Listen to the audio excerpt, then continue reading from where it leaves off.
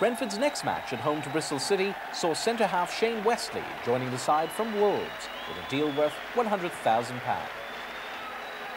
With the Bees without a home win in nearly two months, Brentford's morale was soon to receive a massive boost. Sophie. Look on by Gayle. Blissett, Smillie in space. Good ball from Blissett. Smillie.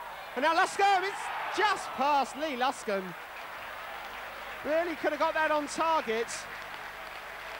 And Brentford could well have taken the lead there.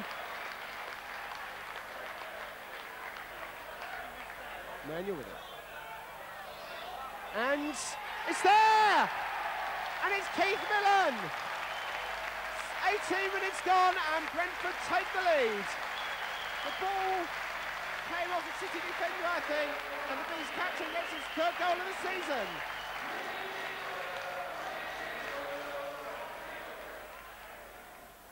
Westley did well. Ball by Edwards, and looked offside there, but Cole, brilliant play. Well finished by Andy Cole. It's got to be a question of offside though. 26 minutes gone and City are back in it. Onto that newly opened, of course, Ealing Road. And Osman got his head to that. Chalmers! It's there! Grant Chalmers! Superb left foot strike there, and in injury time, Brentford go back in front.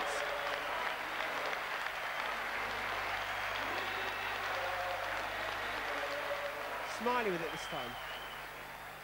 Flick on by Scott. It's there! They've done it again! And Keith Millen gets his second of the game! Brentford's third corner, Neil Smillie floats it in. Again it was flicked on by a Bristol City defender and Keith Millen headed home at the far post. So, three corners, three goals. What will number four bring? It's Manuel with it. Maybe Millen's hat-trick. Look on my Gayle! Blissett! They've done it again! Gary Blissett! It's Brentford 4, Bristol City 1. And Brentford have scored from four out of four corners. Smillie, Blissett, Statham.